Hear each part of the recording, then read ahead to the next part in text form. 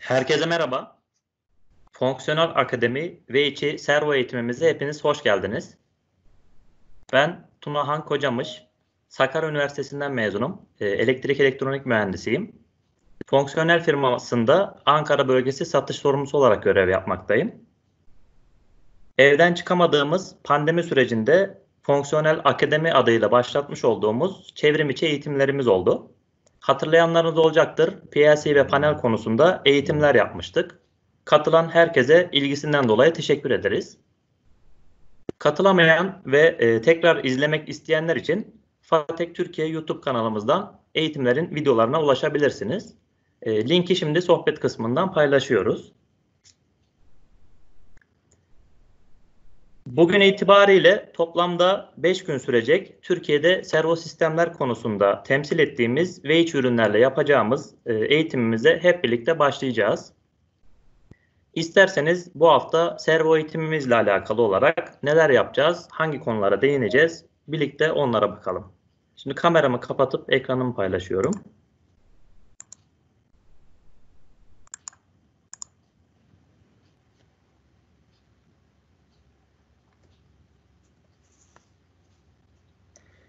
Eğitimimiz boyunca servo sistemlerle alakalı birçok konuya değineceğiz.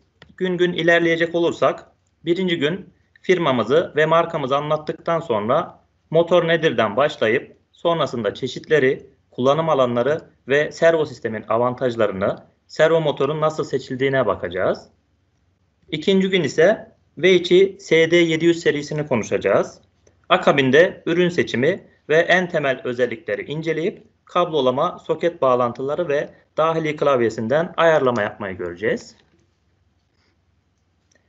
Artık e, genel olarak servomotor konusunu ve V2'de ürün seçimi öğrendikten sonra üçüncü gün tamamen yazılım kısmına odaklanıp sizlere sunulmuş tüm fonksiyonları deneyerek göstereceğiz.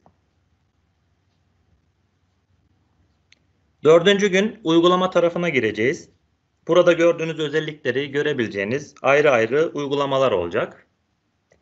Beşinci gün yani son kısımda da arıza tespiti ve nasıl çözüleceğini görüp daha öncesinde yapılmış uygulamaları video ve resimlerle göreceğiz.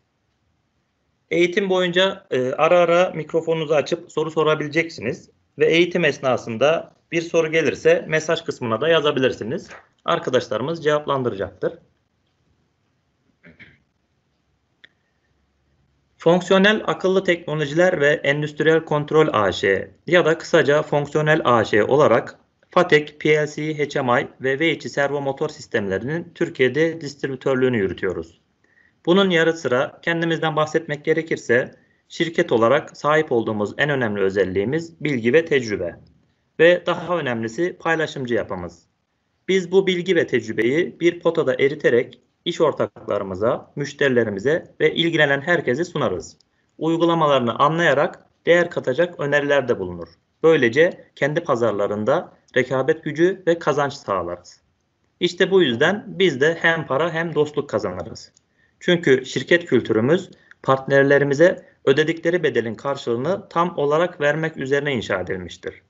Biz 1996 yılından beri Fatek marka PLC ve operatör, operatör panellerinin Türkiye distribütörlüğünü yürütüyoruz. Servo sistemler konusunda da V2 markasının ülkemizde satış ve teknik desteğini sağlıyoruz. Firma olarak satış konusunda sürekli eğitim gören, konusunda uzman, satış mühendislerimiz ve teknik destek uzmanlarımız ile 20 yılı aşkın süredir otomasyon projelerimizin destekçisiyiz. İş ortaklarımız ve müşterilerimizin her türlü sorularında ve teknik destek ihtiyaçlarında iletişim kanallarımızdan bize ulaşabilmekte. Uzman teknik destek ekibimiz ihtiyaç duydukları konuda geri dönüş alabilmektedir. Ayrıca isteyen herkes web sayfamızın forum kısmından da soru sorabilmekte ve sıkça sorulan konular hakkında hazırlanan video içeriklere ulaşabilmektedir. Ayrıca uzman kadromuz ve 20 yıl aşkın tecrübemiz ile sizlere periyodik olarak ücretsiz eğitimler düzenlemekteyiz. Bu eğitimler sayesinde sizlerin ürünlere tam anlamıyla hakim olmanız ve projelerinizde programlamanızı kendinizin yazmasını sağlamaktayız. Bugün de zaten bunlardan birini icra ediyoruz. Şimdi V2 markamıza dönecek olursak e, markamızın telaffuzu V2, Vici diye telaffuz edenler var. Hatta Vecihi diyenler var. Ama doğrusu V2. E, Leo Peng de V2'de Türkiye sorumlusu. E, eğitimimizden haberdar olunca kendisi sizlere bizzat selam göndermek istedi. Biz de V2'yi kısaca ondan dinleyin istedik. Herkese merhaba, ben Leo Peng. Richard Turkiye, Japan, Sorum Louis. From 2019, Functional became exclusive partner for server system and motion controller in Turkey. They have professional team for automation system with great experience for HMI, PLC, server system, and uh, light traded for lab lines. Our main products, server system, motion controller, general purpose inverter, and uh, customized integrated inverter for eye compressor, construction and inverter, power cranium, passenger lift, hydraulic system, solar pumping inverter, and so on. Server system mainly application CNC machine tool, cutting machine, painting machine, producing line, industrial robots, wood and marble industry, and so on. The detailed features will be introduced by Franklin Yoler. From 2019 to 2021, we focus on getting better markets in European region and the nice beginning in Turkey. Until now, there are many kinds of customized inquiry from Franklin Yoler. We've already upgraded software five times for the special requests of customers. We may also add additional functions based on your requirements.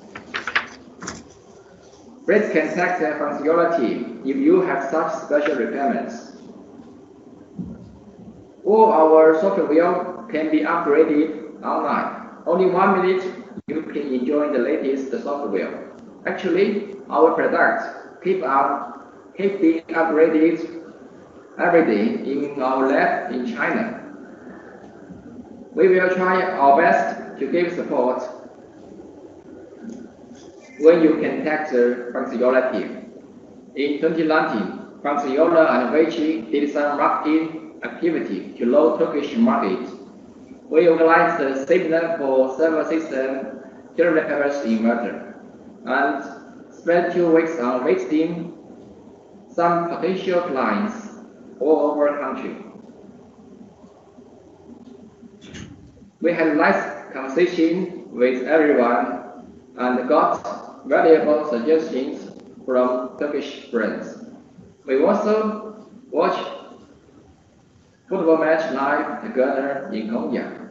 I, it's nice experience for me in Turkey last year. The coronavirus spread everywhere and bring us trouble for life and work. In my mind, Turkish people will defeat it with heart. Most activity have to be stopped. We try our best to give support online. Herkese şimdiden iyi eğitimle giderim. Teşekkürler. Leo Peng'e biz de teşekkür ederiz. Şimdi e, Türkiye'de tek yetkili olarak temsil ettiğimiz V2 markasının hazırlamış olduğu bilgilendirme videosunu beraberce izleyelim ve hemen Evet. akabinde hem yurt dışı hem de Türkiye web sitemizi inceleyelim.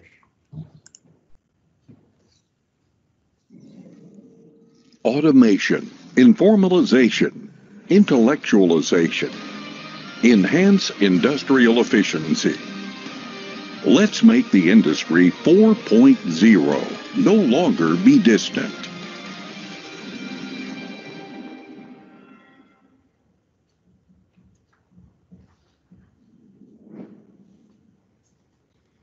Which Electric is one of the Chinese national high tech enterprises engaged in industrial automation control product development, production, and sales. which has established two production bases in China Suzhou Industrial Park, Shenzhen Industrial Park.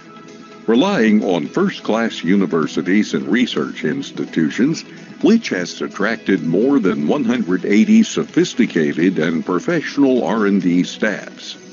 Its number of employees is more than 500. Due to continuous technological innovation and improvement, which has gained more than 110 technical patents. Now it has already become one of the most influential enterprises in the China electrical industry, which has formed a complete development process of design, test validation, sample trial. It has an advanced product development mode, adopting IPD development process, EDA design concept, for better development and customer service, which has established four production lines. Servo and motion control product line.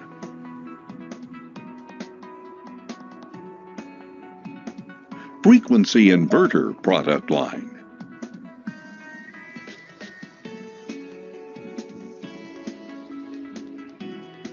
Hosting and automotive electronics product line.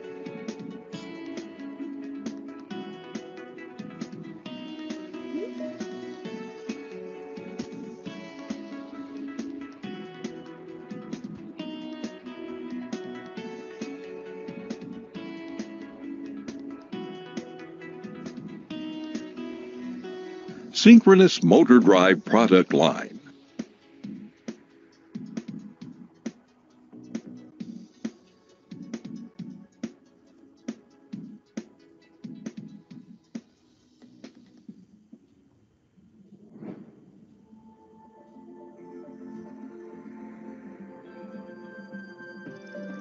Pursuing of excellence and paying attention to details are the guarantees of high product quality and stability which has established strict product executing standards, rigorous production process, and industry-leading product traceability system. In line with intelligent manufacturing, which has built a smart factory of an annual capacity of 400,000 sets with automated SMT production line, spraying line, assembly line, test line, packaging line, high temperature aging room, and advanced production equipments. Adhering to the philosophy of quality first, which adopts strict quality standards from the source and each process procedure such as design, procurement, incoming inspection, manufacturing, and other aspects. The full inspection test mode reduces the risk of quality defects which he establishes a complete product traceability system from the raw materials to the finished products in order to achieve the whole process quality control.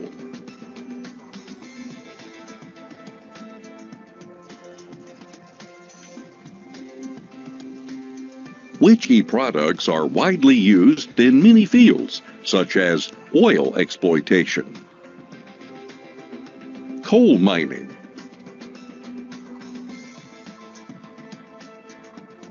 textile and chemical fiber, food packaging industry, construction industry, photovoltaic industry, etc. There are many successful application cases, such as HK Zhuhai Macau Bridge, Guizhou Bridge, Daqing Oil Field, and so forth. We believe that service only has a starting point. Satisfaction has no end. In order to provide customers with better pre-sale and after-sale service like scheme design, on-site training, product maintenance, and etc., which has established a convenient and efficient service system via various online and offline platforms such as local service center, service hotlines, APP, social networks, and etc. From 2005 to 2017, which has been in development for 11 years. Since its foundation, which production and sales volume increases steadily at an average rate of 60% per year, which exceeds the peer enterprises. With stable product performance, excellent quality, and great customer service, which has earned great reputation from consumers and dealers. Which, a trusted provider of industrial automation products and system solutions for you.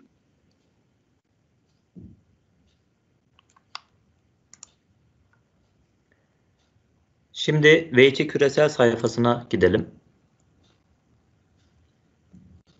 Burada size V2'nin çok çeşitli ürünler ürettiğini ve ürünlere ilişkin teknik dokümanlara ulaşabileceğiniz kısımları göstermek istiyorum. Burada gördüğünüz gibi V2 invertörler, sürücüler, PLC, HMI, servo motor sistemleri ve güneş enerjili su pompası invertörleri üretmektedir. Biz eğitimimiz boyunca servo motorlar tarafıyla ilgileneceğiz. Destek kısmında teknik dokümanları bulabilirsiniz. Burada her ürünüyle alakalı teknik doküman, e, katalog ve manuel indirebilirsiniz. Buradan servo sistemleri seçelim. Gördüğünüz gibi SD700'ün katalogları, manuellerine buradan ulaşabilirsiniz. E, burada indireceğiniz e, yazılım, kataloglar İngilizcedir. Biz bunların e, Türkiye sayfamızda çevirilerini yapıp Türkçelerini de paylaşıyoruz. Buradan da dünyada da 30'dan fazla ülkede kendi organizasyonu ya da mümessilleri vasıtasıyla bulunmaktadır. Mutlaka siz de biliyorsunuz ki Çin'de çok fazla üretim yapan firma bulunmaktadır. Weiqi hem üretici hem geliştirici hem de küresel pazarda organizasyonunu kurmuş, uluslararası pazara açılmış bir markadır. Şimdi bizim Türkiye'deki sayfamızı gösterelim.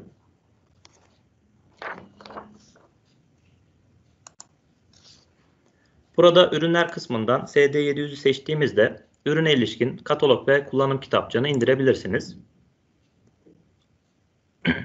Onun dışında aşağıda burada ürüne ilişkin öne çıkan konular açıklanmaktadır.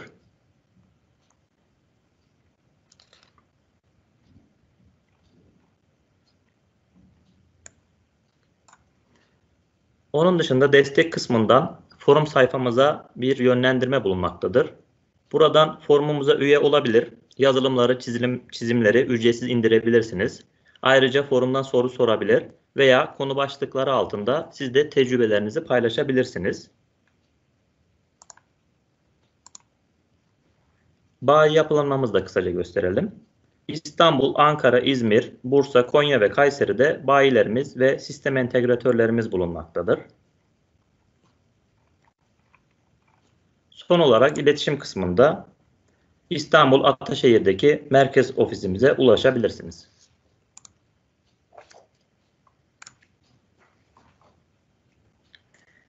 Weiç Elektrik, Çin'de tanınmış endüstriyel otomasyon, kontrol ürünlerinin geliştirilmesi, üretimi ve pazarlamasıyla uğraşan yüksek teknoloji üreten bir kuruluştur. 2005 yılında kurulan Weiç'i 15 yıllık sektör tecrübesiyle ve her geçen yıl gösterdiği gelişim ile otomasyon sektöründe hareket kontrol konusunda öncü firmalar arasına girmiştir. Sucu ve Shenzhen şehirlerindeki iki üretim tesisi ile hem ürün çeşitliliğini hem de pazarın ihtiyaçlarını karşılayabilmektedir. Weichi bünyesinde yüzden fazlası ARGE olmak kaydıyla 500'den fazla çalışan bulunmaktadır. Buradan pazardaki büyüklüğünü ve ARGE konusuna verdiği önemi görebiliriz. Weichi 30'dan fazla ülkede kendi organizasyonu ile hizmet etmektedir. Weichi almış olduğu yüzden fazla teknolojik patent ile yapmış olduğu ARGE çalışmalarını tescillendirmiştir.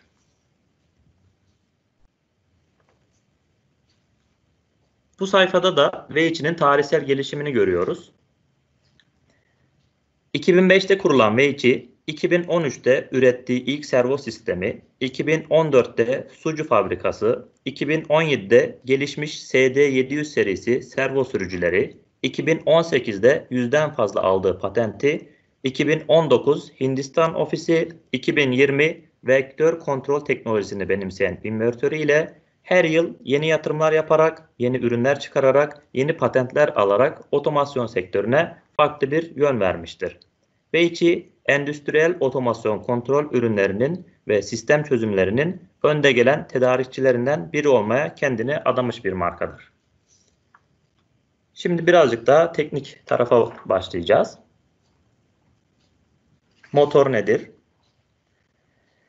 Özetle bir enerji formunu mekanik enerjiye mekanik enerjiye kuvvete dönüştüren cihaza motor denir. Bu enerji formu elektrik olabilir, benzin, mazot veya kimyasal enerji olabilir.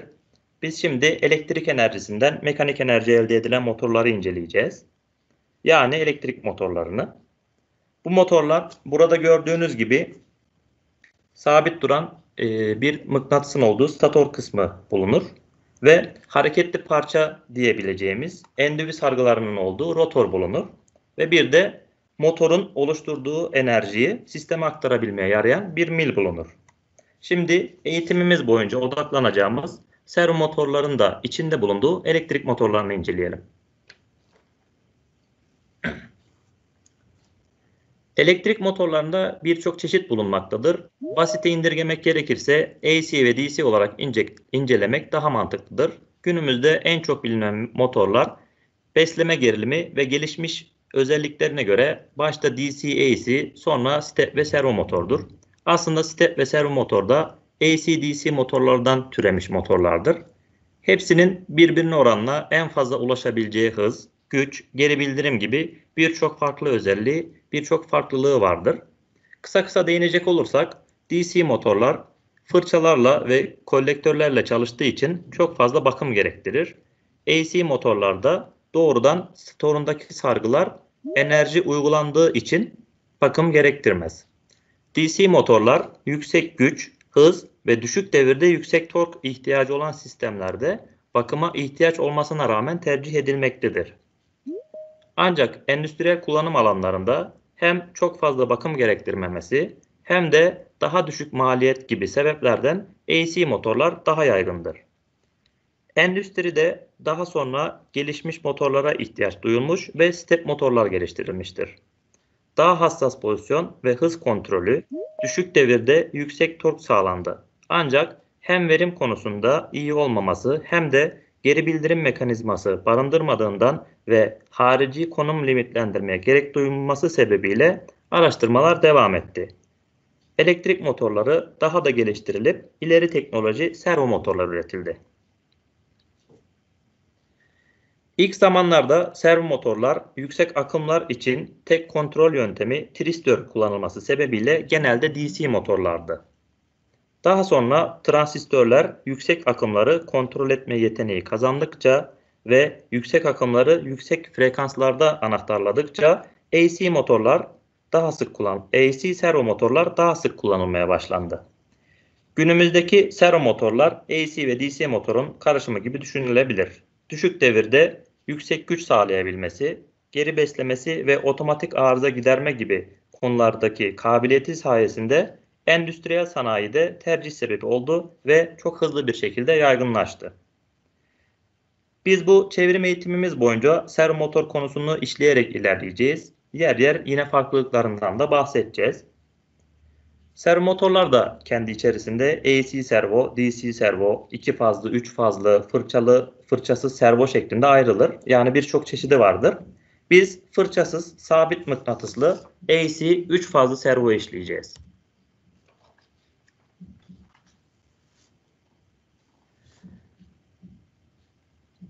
Servo motor mekanizmanın işleyişini hatayı algılayarak yan bir geri besleme düzeniyle denetleyen, genelde enkoder olur, resolver veya başka bir sistemle de yapılabilir ve hatayı otomatik gideren hız, konum ve ivme gibi parametreleri kontrol ederek hareket kontrolü sağlayan düzenektir. E, örnek vererek açıklayalım. E, diyelim ki bir bisküvi fabrikanız var. Bisküviler konveyör hattında ilerliyor. Konveyör sabit hız ile dönüyor ise buraya gerekli güce göre bir AC motor alırız. Direkt beslemesini veririz ve ömür boyu çalışır. Bir bakım da istemez. Bu konveyör hattı ileride başka bir hat ile birleşiyor ve o hatta da bazen sade bisküviler, bazen çikolatalı, bazen kaymaklı bisküviler olsun. Ee, yani farklı ürünler farklı zamanlarda, farklı hızlarda geçiyor diyelim. O zaman AC motorun önüne yani girişine bir invertör bağlarız ve konveyör hattı farklı hızlarda hareket ettirebiliriz. Hattın devamında da bir e, hattın devamında da bu bisküvileri alıp e, sağa sola aşağı yukarı hareket ettirip kutuya dizen bir robotumuz olsun. Bu robotun hareketi içinde servo motor olması gerekir. Çünkü robotun kolları, eksenleri hassas hareket etmek zorundadır. Bu hassasiyeti ki en önemli avantajlarından biridir servo motorun. Enkoder veya resolver gibi geri besleme ile de kontrolü sağlanır. Böylece hata varsa algılanır ve alarm durumları izlenir. Tespit edilen arızalar çözülür. Yani özetle hassas hareket kontrolünün istendiği yerlerde servo motor kullanılmalıdır. Diğer avantajlarına da ilerleyen slaytlarda bugün değineceğiz zaten. Servo motorun diğer elektrikli motorlara göre farklılıkları olduğunu söylemiştik. Şimdi bu bahsettiğimiz farklılıkları daha iyi anlamak için servo motorun iç yapısını inceleyelim. Servo motorun yapı olarak AC ve DC motordan farkı yani birkaç slide önce görmüş olduğunuz motorda stator, rotor ve milden farklı olarak iç yapısında bir enkoder bulunması ve motor milinin şaftının konumunu ölçen bir kontrol devresi olmasıdır. Daha önce değindiğimiz gibi pozisyon ve hız gibi geri bildirimleri kullanıcıya aktaran bir enkoder bulunur. Diğer kısımlarda ise genel elektrikler elektrik motorlarındaki gibi motor, e, rotor ve stator bulunur. E, yeri gelmişken kısaca değinmek gerekirse e, rotor motorun hareketli parçasıdır.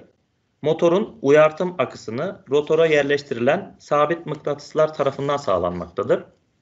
Rotor çekirdekleri bir manyetik alan bobini, kayar bilerzikler ve bir rotor milinden meydana gelmiştir. Bu mil sayesinde motorun oluşturduğu enerji sisteme aktarılır. Stator ise motorun sabit parçasıdır. Stator saclar ve sargılardan oluşur. Yani birer yüzeyi silis ile kaplanmış ince çelik plakalardan meydana gelir. Biçimlendirilen stator saçları sıkıştırılarak perçinlenir veya somunla ön ve arka kapaklara sabitlenir. Diğer görünen kısımlar tamamen parçaları bir arada tutmak içindir. Tabii ki servo motor seçerken bu parçaların ölçüleri de önemlidir. En basit örneği gövdenin flanş ölçüleri, takılacağı yere göre vida yerlerine vesairesine dikkat etmek gerekir. Servo motorlar yüksek hız tepkisine sahiptir. Bu özellik ise servo motorları düşük rotor ataletine sahip olmalarını gerektirir. Bu sebeple de servo motorlar daha küçük çaplı ve daha uzundur.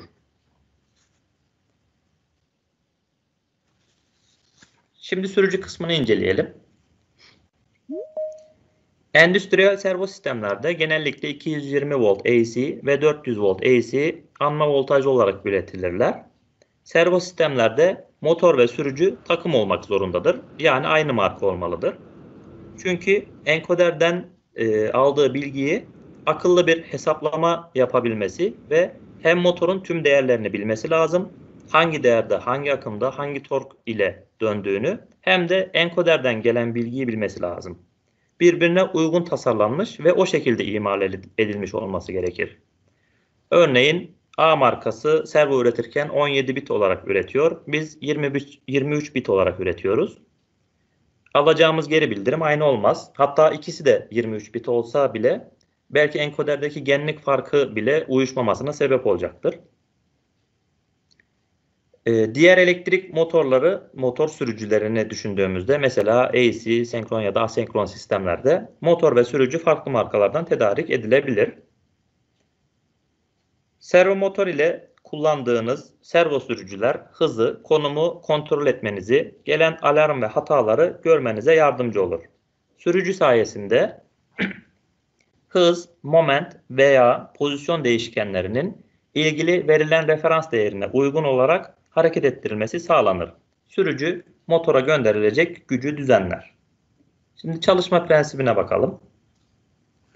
Servo motorun çalışma prensibi servo sürücü ile motora yön ve hız bilgisi göndererek motoru hareket ettirme ve servo motordaki enkoderden aldığımız bilgiyle aldığımız geri besleme ile de motorun verdiğimiz komutları yerine getirdiğini veya getirirken zorlanması, hata gibi durumları anlamlandırmamızı sağlamaktır.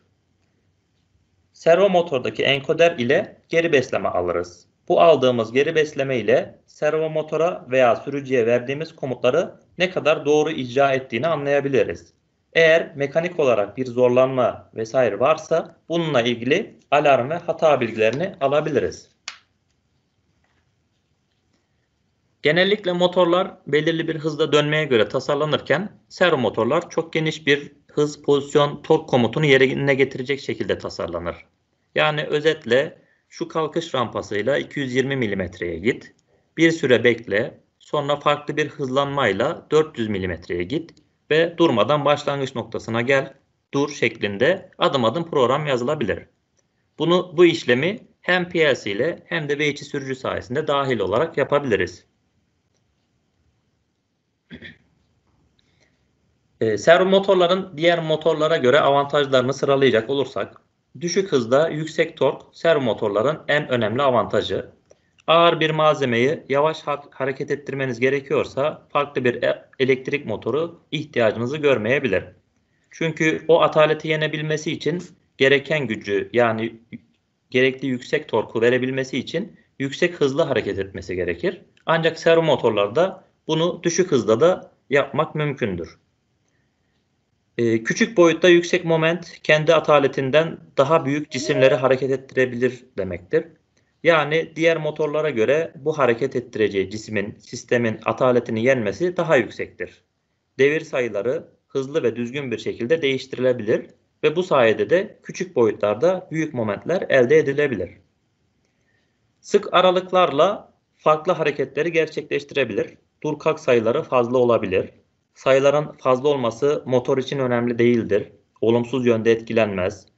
Ee, örnek vererek açıklamak gerekirse AC motorlar hareket ederken e, bir süre rampa ile kalkar yani yavaş yavaş hızlanır. Sonra istenilen hızda hareketini yapar ve yavaşlayarak durur.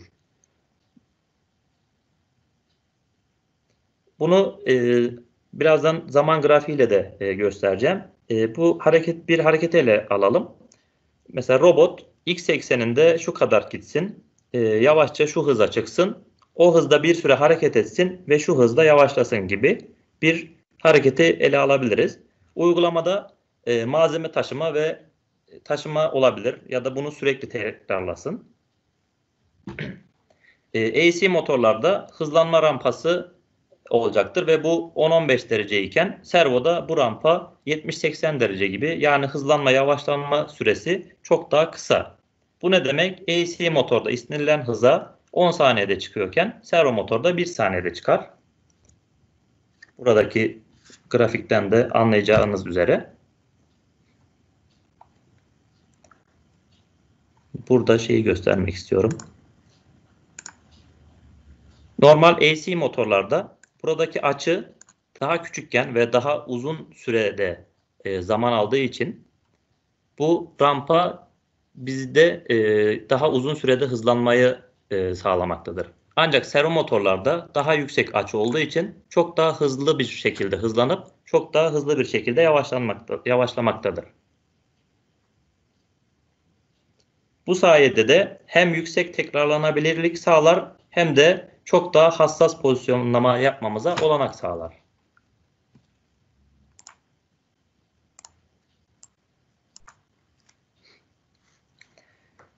Dahili enkoder sayesinde pozisyon bilgisini sürekli takip eder ve geri bildirim sağlar. Yine bir örnek verelim. Projenizi servo motor yerine normal AC motorla yaptığınızı varsayalım. Konveyör hattınızda konveyör hattınızın kaç milimetre hareket ettiğini ölçeceksiniz. Ee, öyle bir uygulama olsun. Hız ve konum bilgisi almadan geri besleme e, de bir problem yaşamaz mısınız? Yani emin olamayız. Standart AC motorlarda dahili bir enkoder yok ama haricen bağlanabilir. Hatta belki çözünürlülük de yakalanabilir. Ancak hem bunlar için bir hesaplama yapmamız, ayarlarını yapmamız gerekir. Hem de ani hareketleri yine sağlayamayız. Onun dışında son olarak e, eğer sürücülerde standart dahili pozisyonlama özelliği varsa PLC ve e, kontroller kullanmadan pozisyon kontrolü yapılabilir. Ve iç servolarda dahili pozisyonlama mevcuttur. Şimdi e, servo motorlar nerelerde kullanılır? Onlara bakalım. Otomasyon alanında birçok sektörde farklı amaçlar için servo motorlar kullanılır. Burada birkaç örnek vermek istedik. E, buradakilerinden çok daha fazla uygulamada yani hassasiyetin, geri bildirimin, pozisyon kontrolünün önemli olduğu yerlerde servo motor kullanılır. Örneğin CNC makinelerinde parça işleyen kafanın hassas hareket yapabilmesi çok kritiktir. Burada hız ve hassasiyet servo motorlar sayesinde sağlanır. Yine aynı şekilde elektronik dizgi makinelerinde çok hızlı komponentler yakalanır ve hassas pozisyonlama ile yerleştirilir. Paketleme dolum makinelerinde e, doldurulan ürünün gramajı, litresi, servomotorlu sistemler sayesinde istenilen hassasiyet yakalanır. Ayrıca hızlı paketleme için de kullanılır. Örneğin AC motor ve invertör ile dakikada 60 tane paketleyebileceğiniz bir sistemde servo motor ile dakikada 140 tane belki daha fazla yapılabilir. Yani servo motor e, çek doldur kapat dediğimiz işlemi hızlı dur kalk sayesinde daha sık yapabilir. Yani hız kazandırıp dakikadaki üretimi iki katından daha fazla arttırabilir. Ağaç işleme makinelerinde tabla hareketleri servo motorla sağlanır. Böylece ağaç, tahta, sunta gibi malzemeler işlenirken istenilen pürüzsüzlük sağlanabilir. Tekstilde iplik işleme, kumaş kesme gibi alanlarda servo motor kullanılır. Hatta güncel bir bir örnek olarak e, maske makinelerini söyleyebiliriz. 3 katlı kumaşı aynı anda hizalamak için, ip takma ve kesme için e, servo motorlar kullanılır. Robot mekanik ellerde parça taşıma, yükleme boşaltma uygulamalarında eksen hareketleri servo motorlar ile sağlanır. Hatta robot eksenlerinde V2'ye özgü avantajlar da mevcut. Bunu da ilerleyen günlerde yine anlatacağız. Beni dinlediğiniz için teşekkür ederim. Şimdi buraya kadar bir sorunuz varsa sorularınızı alalım.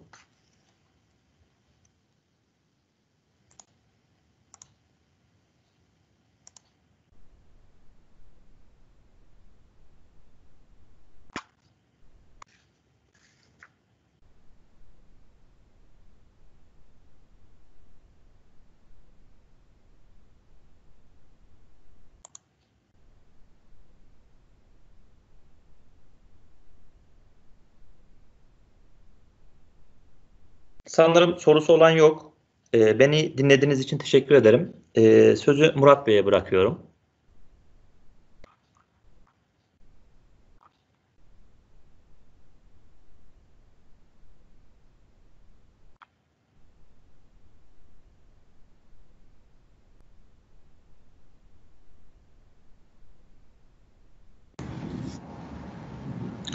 Evet, herkese merhaba. Bir ses kontrolü yapabilir miyiz Özgür Bey? Geliyor herhangi bir sorun yok. Peki, teşekkürler. Evet, Tunan Bey'e de sunumundan dolayı teşekkür ediyorum. Ee, ismim Murat Yılmaz, Fonksiyonel Akıllı Teknolojiler ve Kontrol AŞ firmasında yaklaşık 4 yıldır e, satış mühendisi olarak görev yapmaktayım. PLC ve kontrol panelleri eğitiminde de birçok konuyu beraberce işledik. Bugün ise sizlere servo motor seçimi konusunda katalog değerleri ne ifade eder? Bunların birbirleri arasındaki ilişkileri, motor ve sürücü seçiminde nelere dikkat etmeliyiz gibi konuları beraberce işleyeceğiz. Doğru servo seçimi yapmak aslında birçok yönden yaptığımız işi etkiler. Yanlış seçimden kaynaklı motorun ısınması, aşırı yüklenmesi, e, mekanik olarak zorlanması, daha fazla enerji harcaması, ömrünün kısalması, yani ben bu listeyi daha tabii daha da uzatabilirim. Buna benzer birçok problemlerle karşılaşabilirsiniz. Bunlar aslında özetle kullanıcıya ekstra maliyet ve zaman kaybı olarak problemler doğurabilir. Doğru servo seçimi yapmak için genel olarak konuyu iki ana başlıkta değerlendirebiliriz.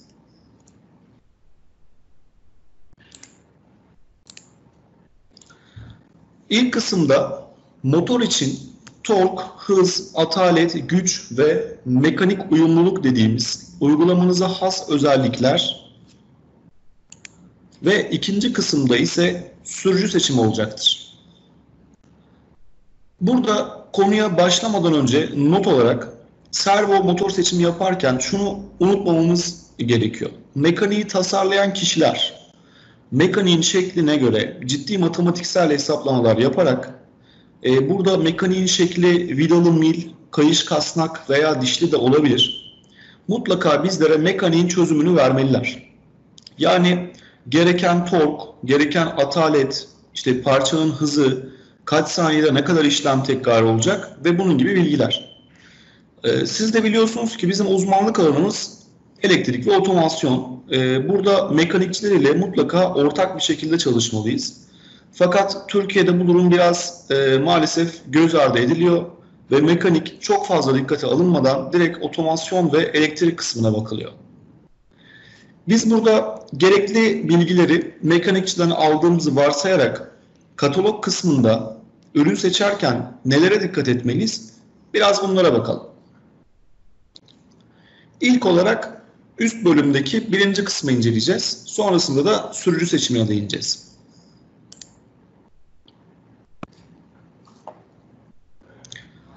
Evet, eski adıyla moment, şimdi yeni adıyla duyduğumuz torque. En sade ve anlaşılır tabiriyle kuvvetin döndürme etkisidir. Kuvvetlerin etkisi sadece bir nesneyi itmek ya da çekmek şeklinde olmaz. Gündelik hayatımıza şöyle bir baktığımızda bir pencereyi ya da kapıyı aslında dönme noktasına dik olarak uyguladığımız kuvvet ile açıp kapatıyoruz. Bakın şöyle bir resme. Şurada bir dayanak noktası var ve bir çubuğumuz. Biz bu çubuğumuza F şiddetindeki kuvvetlerle e, cismi döndürüyoruz. Peki özetle tork şuradaki birim tablosuna baktığımızda kuvvet çarpı uzunluk şeklinde ve vektörel bir büyüklük olduğunu mutlaka unutmamak gerekir. Kuvvetin birimi Newton, uzunluğun birimi ise metre olduğundan dolayı tork bilgilerinizi kataloglarda Newton çarpı metre olarak görmektesiniz. Peki servo motor kataloglarında alma torku ve maksimum tork nedir? Bakın şurada alma torku 1.27 Nm, maksimum tork ise 3.81 Nm. Buradaki alma torku servo motorun 7 gün 24 saat ısınmadan, mekanik bir hasar görmeden çalışabildiği tork bölgesidir. Maksimum tork ise sürücünün ya da motorun ulaşabileceği maksimum değer. Yani bu değer aşıldığında sürücüde aşırı yük alarmı oluşabilir. Bundan dolayı motor seçimlerinizde mutlaka tork bilgisine de bakmamız ve dikkate almamız gerekiyor. Mutlaka da anma torku çalışma bölgesinde olmalıyız. Yani 1.27 Newton metrede.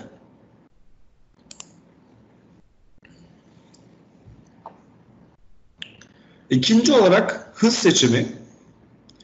Hızı yine kataloglarda RPM cinsinden görürüz. Buradaki RPM e, İngilizce olarak Revolutions e, per Minute yani dakikadaki devir sayısı. Burası bazen çünkü karıştırılıyor. E, ve kataloglarda yine anma hızı ve maksimum hız olmak üzere iki tane farklı değer bulunur. Anma hızı servo motorun anma tork bölgesi içinde hareket sağlayacağı maksimum dakikadaki devir sayısı. Maksimum hız ise servo motorun çıkabileceği son hız limiti. İkisi de aslında ayrı terimler. Ve burada dikkat edilmesi gereken en önemli nokta ise şu. Anma hızını aştığında motor tork bölgesi azalmaya başlar. Bunu da grafikten şu şekilde görebiliriz. Bakın şuradaki anma torku şu buradaki maksimum torktan geliyor. Anma torku 3000 RPM. Yani anma hızı bölgesinde bakın 1.27 Nm torku bize sağlıyor. Fakat hızımız daha da artarsa mesela 6000 devirlere yani maksimum devirlere ulaştığında motor bu sefer grafiğe bakın aşağı doğru bir eğilim var. Ortalama yarıya kadar düşecektir. Yani 0.6 Nm'lere kadar e, torkun düştüğünü unutmamak gerekir. Özetle hız arttıkça şöyle yapalım. Torkunuz da aynı oranda düşecektir. Yine uygulamada motor seçerken mutlaka maksimum hız ya da anma hızı terimlerine de mutlaka bakalım. Hatta buna bir de gündelik bir sektörden örnek vermek gerekirse pres uygulamalarında makinenin üretim hızını arttırmak için hız değişimi kullanılıyor. Yani presin e, yüke gelmediği anlarda, torkun çok önemli olmadığı anlarda aslında maksimum hızla çalıştırılır. Tam pres yüke gelmeye yakınken hız tekrar anma hızına düşürülüp e, anma torku elde edilir. Ve böyle yani bu sayede presin, presin aslında üretim hızı da hızlandırılmış olur.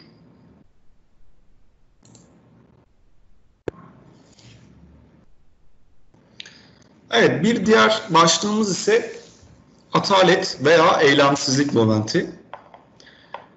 Yine cisimlerin hareket durumlarını koruma eylemleridir. Yani burada hareket durumları ile anlatılmak istenen şey şu. Cismin diğer bir cisme göre sabit hızda hareket etmesi veya durağan halde bulunmasıdır. Burada eğer cisim büyür veya ağırlığı artarsa açısal ivme kazandırmak yani onu hızlandırmak ya da yavaşlatıp durdurmak daha zor olacak. Bunu hatta güncel bir hayattan da örnek verelim. E, sektörde döner tablo uygulaması dediğimiz uygulamalar var. Burada o tablonun ağırlığı, tablonun çapı, e, tablo üzerinde bulunan istasyon adeti gibi her bir etken aslında bu ataletle mutlaka ilişkilidir. Şurada gördüğünüz gibi birimi kilogram çarpı metrekare ya da santimetre kare olarak göreceksiniz. Burada da kısa bir formül bıraktım buraya.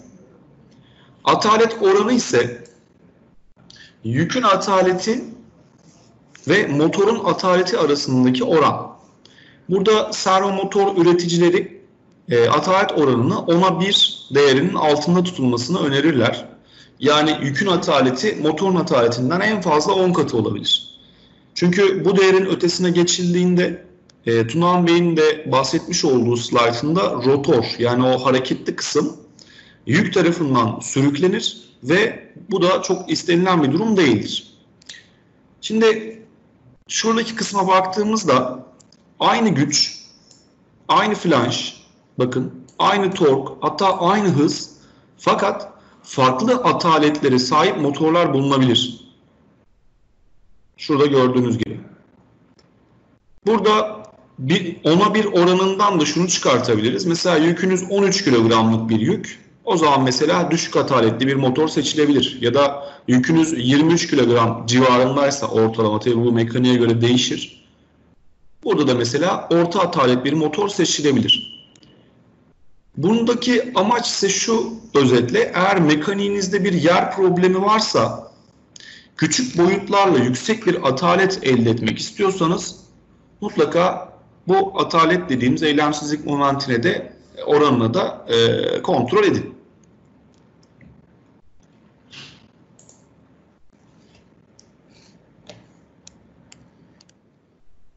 Evet, güç belli bir iş yapmanın hızı yani birim zamanda yapılan iş miktarı. Burada görmüş olduğumuz anma gücü ise yani 400 watt olarak görmüş olduğumuz alma gerilim ve frekansında tam yükte çalışan motorun milinden alınan mekanik bir güç.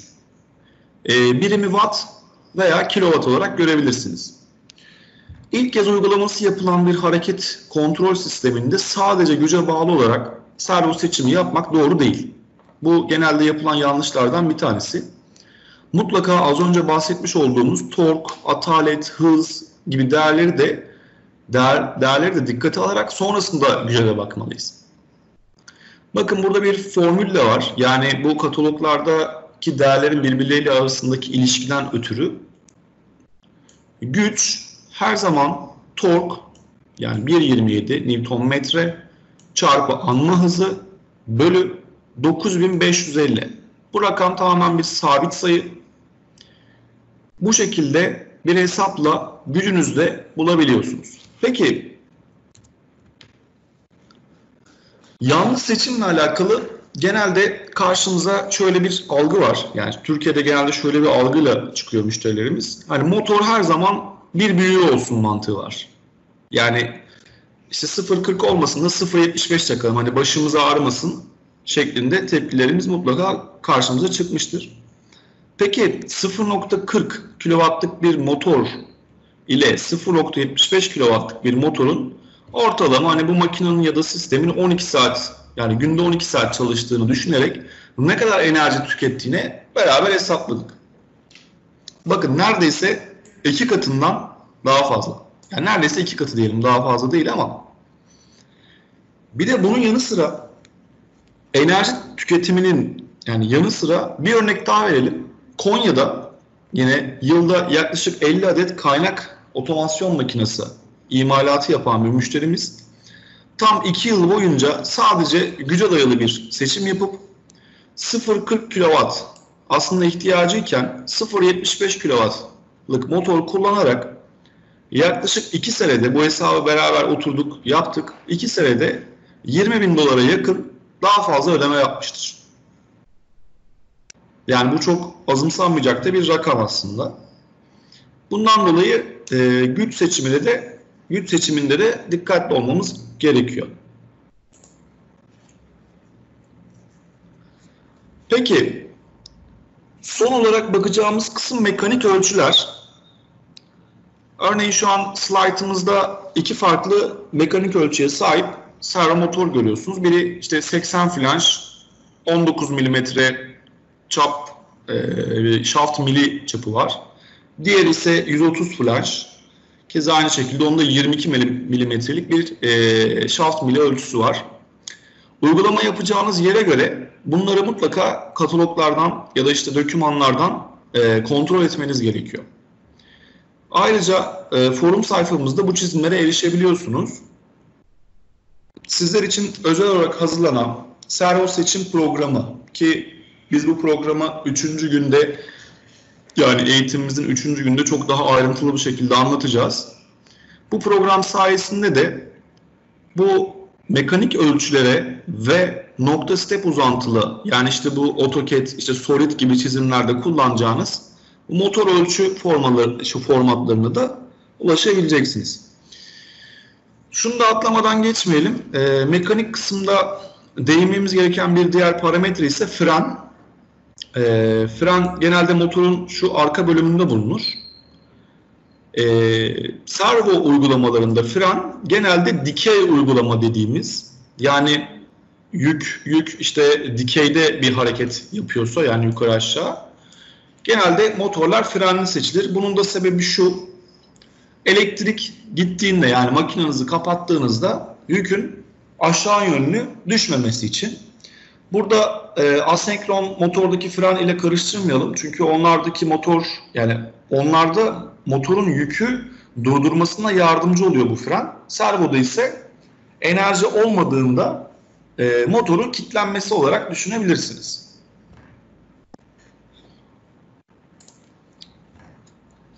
Şimdi slayta başlamadan önce ne demiştik? Mekanik bölümden e, mutlaka mekanik çözümüne ihtiyacımız var. Yani bunlar ciddi bir matematik gerektiriyor. E, makine mühendisleri tarafından genelde yapılan işlemler. Fakat ben burada sizlere örnek olsun diye e, buna benzer bir hesaplama e, örneği koydum. Bununla alakalı e, birçok teknik detay e, tabii internetten bulabilirsiniz. E, ben şimdi size kısaca bu hesaplamalar nasıl yapılıyor e, onlara bir bakalım. Örneğimiz şu şekilde. Bir tane motorumuz var. E, vidalı mil üzerinde hareket eden bir araba. Şu. Üzerinde de bir tane yük var. Bakın. Şurada verilen hareket grafiğinde demişiz ki ivmelenme zamanı işte 0.1 saniyede e, motor şurada istediğimiz hıza ulaşsın. Sonrasında 0.8 saniye boyunca aynı hıza devam etsin. Şuradaki kısımda. Sonra da yavaşlasın ve belli bir sürede hatta dursun sonra bu işlemi tekrar etsin gibi düşünebilirsiniz mesela bu grafiği. Buradaki çevrim zamanı da 2 saniye. Peki bu sistemle alakalı tüm parametrelerimiz de aslında önceden belirlenmiş durumda. Yani parçanın ağırlığı belli. İşte e, bilyeli vidanın çapı belli, adımı belli. Bu adımı e, hatve olarak da duyabilirsiniz. E, kat edilen mesafeler vesaire bütün bilgilerimiz var. Şimdi şu hesaplamalar nasıl yapılıyor onlara bakalım. Az önce göstermiş olduğum slaytı şurada küçük olarak da koydum. Evet ilk önce yükün ataletinin motorun ataletine olan uyumuna bir bakalım. Yani daha motor seçmedik. Beraber seçiyoruz. Ee, ilk olarak bu bilyeli vidanın ağırlığını hesaplamışlar. Ya da hesapladık bakın burada. Sonrasında bu ağırlığı yükün ataletinde yerine koyarak yükün ataletini 0,173 kilogram çarpı santimetre kare olarak bulduk. Şimdi bununla alakalı biz kataloglarımızı kurcaladığımızda 200 wattlık bir motor bu ataleti şu an bakın bu değer bundan büyük olduğundan dolayı karşılıyor. Peki yani, bitti mi peki şu anda sadece buna mı bakmayız? Tabii ki hayır. Devam edelim.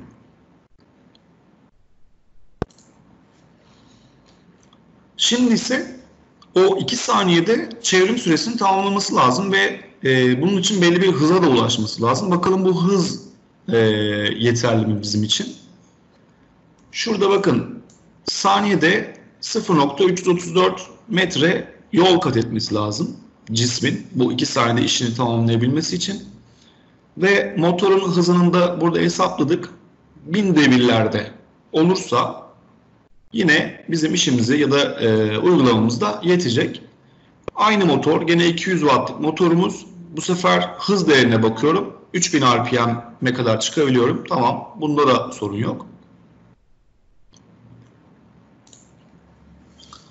Son olarak da artık bir de torkuna bakalım.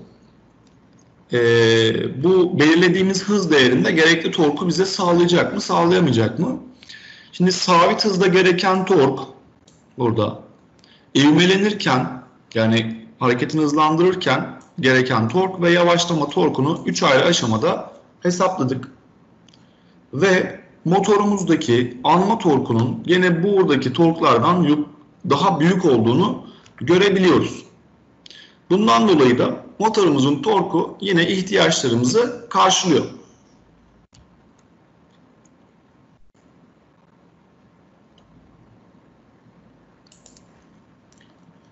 Evet sonuç olarak mekaniğe göre seçtiğimiz servo motor atalet, tork ve hız değerlerine göre az önceki uygulama için bizim ihtiyaçlarımızı karşılamış durumda. Şimdi burada mutlaka uygulamanıza en efektif bir şekilde çalışacak motoru seçmelisiniz. Bunu Konya örneğinden ya da işte enerji tasarrufu örneğinden zaten söyledik. Bu hesaplar farklı mekanik e, yapılara göre de değişiyor. Bizim az önce yaptığımız örnek bir vidalı mildi. Bu kayış kasnak olabilir, tezgah dişli olabilir. Bununla alakalı da yine gerekli formülleri forum sitemiz olan vh.com.tr'den ulaşabilirsiniz. Hatta şöyle bir bakalım.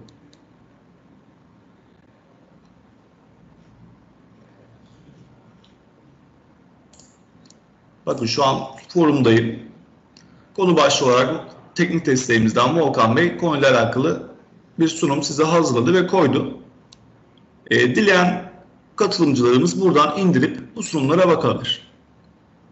Bu hesaplamalarla alakalı kısım burası.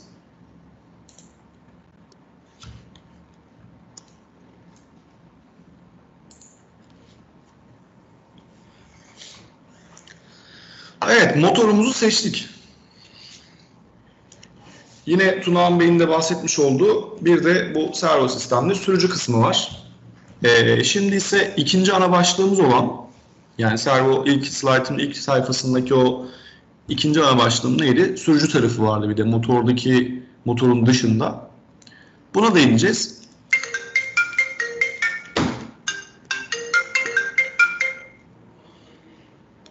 Pardon.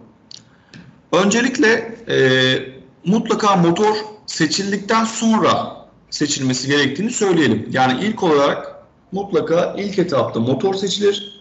Sonrasında sürücü seçilir. Bakın ben burada 400 wattlık bir motor özelliklerini koydum. Burada önemli olan şu. Bakın anma akımı ve maksimum akım dediğimiz iki tane değer var motorda. Bu değerler e, motorun katalog değerlerine uygun bir şekilde çalışması için gerekli akım değerleri. Sürücü seçimine geçiş yaptığımız zaman bakın burada anma akımımız 2,5 amper bizim için yeterli. Ben mesela sürücü olarak burada işte SD700 3R3A sürücüyü seçtim. Ve anma çıkış akımım 3.3 amper. Neden? Alma, yani motorun ihtiyacından daha büyük olmalı. Yani burada gidip eğer ki şu ya da şu sürücüyü seçerseniz e, motoru süremezsiniz. E, yani küçük seçmemeniz gerekiyor. Bundan dolayı da mutlaka motoru seçtikten sonra ihtiyacı olan anma akımı ve maksimum akım değerlerini sürücünün çıkış bölümünden kontrol edin. Tabi bu tarz tablolar e, genellikle hani motor ve sürücü e, set tabloları bizler tarafından hani öncesinde sizler için hazırlanıyor ama yine de dikkat etmek lazım.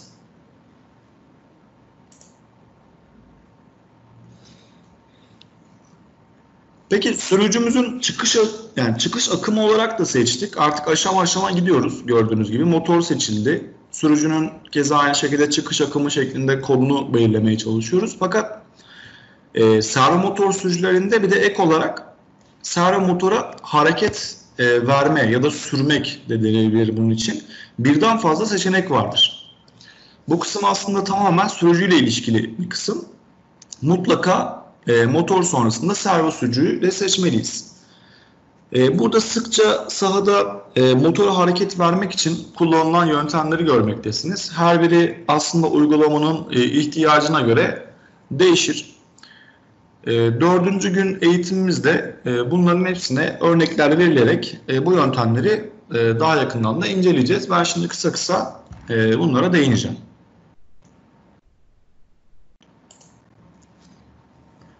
Evet. İlk olarak pas yöntemi. Sağda yine en çok karşılaştığımız servo sürme yöntemidir. Ee, burada PLC ya da herhangi bir controller'ın e, yüksek hızlı çıkışları kullanılarak servo motora konum ve yön bilgisi gönderilir. Burada hareket komutları aslında tamamen kontrolcünüz yani bir PLC'de İçerisinde bulunan dahili fonksiyonlar sayesinde motora hız, işte konum, rampa süresi ve bunun gibi komutlar verebiliyorsunuz. E, hatırlarsanız Fatek PLC 2 eğitiminde buna dair çok ayrıntılı şekilde örnekler yapmıştık.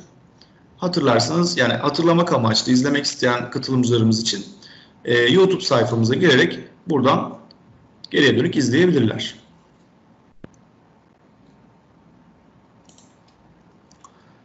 İkinci olarak ise yine bir PLC'nin analog çıkış modülleri veya harici bir güç kaynağı da olabilir bu. Yani bu güç kaynağına potansiyometre bağlayarak da mesela servo motorda hız ve tork kontrolü yapılabilir. Burada mutlaka e, sürücünün analog bir girişinin olması gerekiyor. Burada not olarak V size e, standart olarak e, 12 bit çözünürlüğünde analog bir modül e, yani analog bir giriş şey bulunmakta. E, burada e, uygulamalarda pozisyonlamanın yanı sıra daha çok e, hız kontrolü ya da tork kontrolü önemli. Buna mesela işte örnek vermek gerekirse işte vida sıkma olabilir ya da dolum sektöründe yine kapak kapama olabilir. Ee, yine Bunu da PLC 2 eğitiminde analog giriş ve çıkış e, konusunda benzer örneklerle yapmıştık.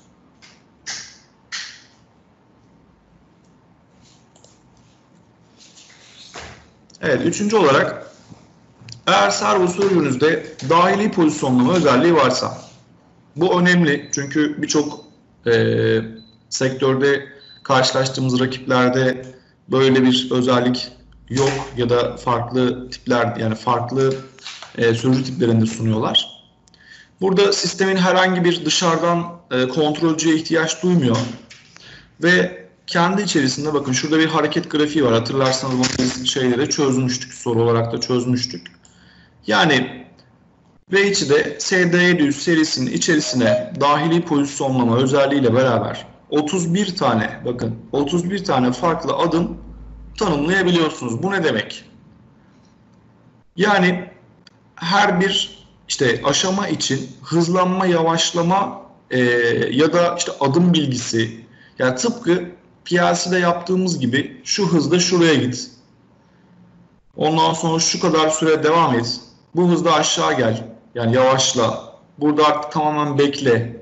Vesaire gibi e, içerisine dahili e, pozisyonlama tarafında bunun keza dördüncü gün örneğinde beraber yapacağız. Programlayabiliyorsunuz. Buna yine sahada sıkça kullanılan bir yöntem. E, kullanışlı da bir yöntem açıkçası. Mutlaka katılmanızı tavsiye ediyorum e, dördüncü gündeki uygulamasına. Şimdi son olarak da haberleşme yöntemi. Bunu da yine e, sektörde birçoğumuz kullanmış ya da duymuş olabilir. E, yine motorumuzu sürebiliyoruz bu şekilde ya da kontrol edebiliyoruz. Şimdi özellikle her geçen gün gelişen ve değişen bir otomasyon sektöründeyiz. E, sıkça ihtiyaç duyulan e, çoklu eksen uygulamalarında aslında haberleşme yöntemi daha fazla tercih edilmekte. Bunun da sebebi şu, e, ya da şöyle diyelim, bunu yine kez aynı şekilde PLC 2 eğitimlere değindik. Yani bu protokollere, mesela işte o gün Modbus dedik, ne bileyim işte Ethercat ya da Canop'un belki sözlü olarak bahsettik ama Modbus'la e, işte Fatek PLC ile yine sürücümüzle haberleşip belli başlı hız ya da konum bilgileri göndermiştik. Ee, burada örneğin Modbus ile servo motorun işte devrinin hızı ya da işte motorun sıcaklığı, enkoderdeki çıkış bilgisi vesaire için kullanabiliriz.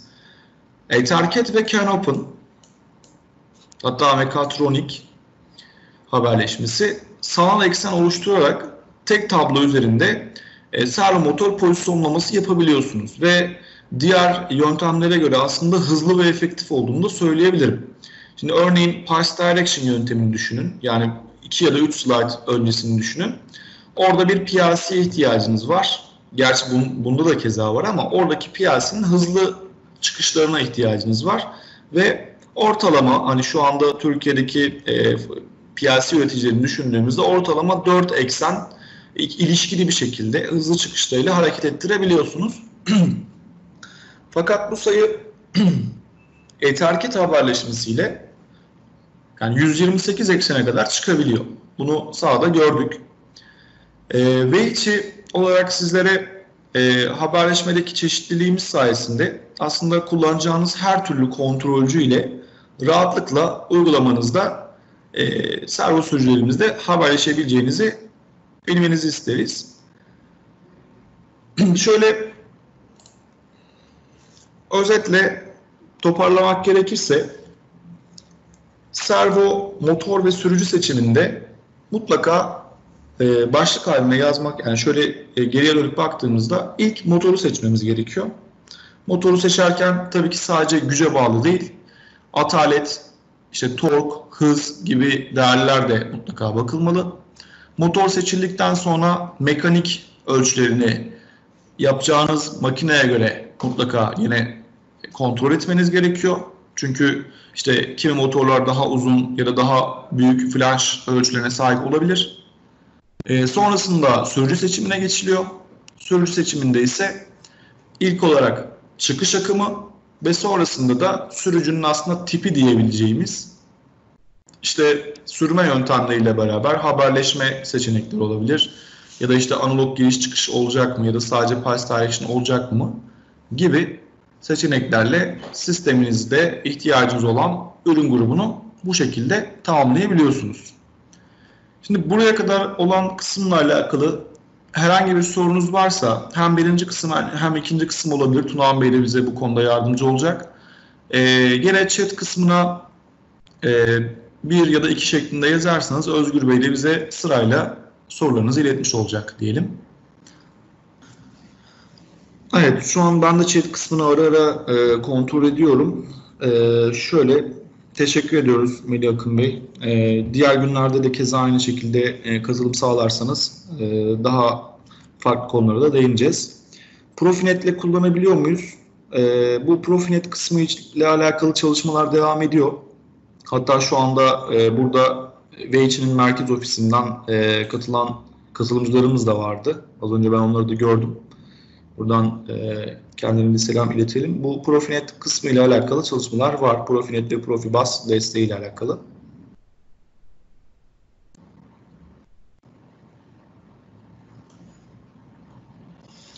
E, evet, servo seçim yazılımı ile alakalı e, bir tablo istenmiş. Bu tarz tablolarımız var. Hatta bununla alakalı e, sonunda da bahsettim. Bir uygulamamız da var. Bu uygulamada üçüncü gün e, sizlere anlatılacak.